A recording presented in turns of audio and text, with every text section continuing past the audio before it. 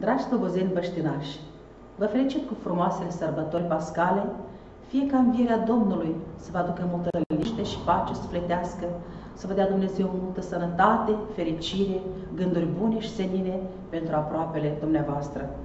Vă invit duminică, 8 mai, la ora 13, în incinta primăriei, la prima ședință de constituire a Asociației Băștinașilor din Slobozia Mare.